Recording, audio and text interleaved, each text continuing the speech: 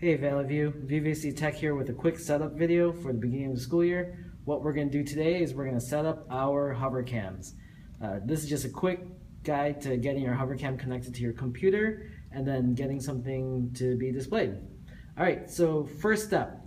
What's different between the hover cam and the red Duquesne document camera, which is actually over here, um, is that it connects your computer via USB.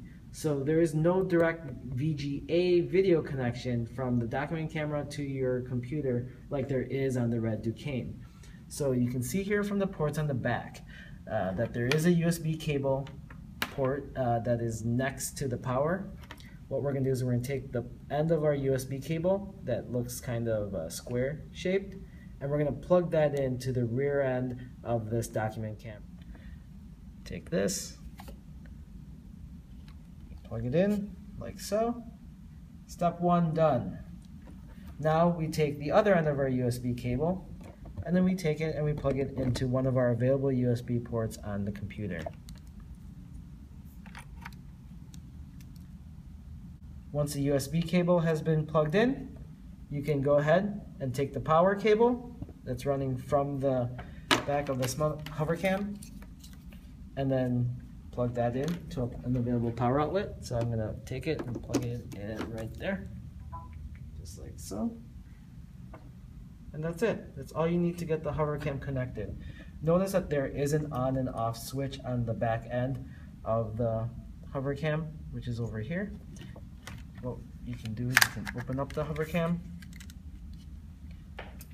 and then open up the HoverCam Flex software, which is located on your computer. If you cannot find the HoverCam Flex software, you can go ahead and search for it by clicking on the Windows icon in the lower left corner of your screen and then searching for HoverCam. Now, if you do have a sub in the room or there is no computer in the room, you can use a VGA cable connection to display onto through your I'm sorry, through your projector.